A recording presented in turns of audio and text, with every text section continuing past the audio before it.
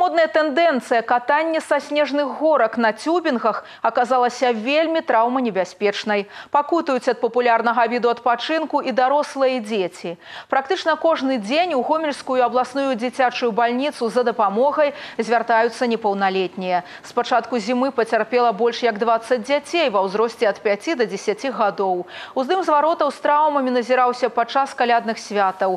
Урачы заклікаюць бацькоў быць больш уважлівымі і па магчымасці адмовіцца ад катання дзяцей на цюбінгах. Наступствы атрыманых траўм галавы і пазваночніка могуць быць вельмі цяжкімі. Если катаясь на санках, э, ребенок может, в принципе, спрыгнуть, то при катании на тюбинге он не достает ни руками, ни ногами до э, снега.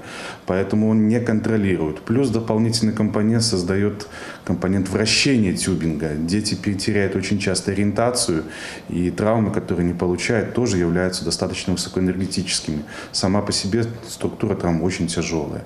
Вплоть до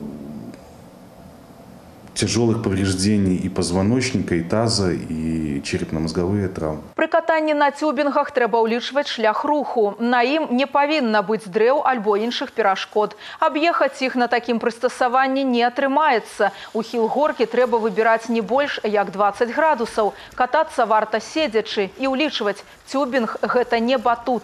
Прыхаць на ім не варта.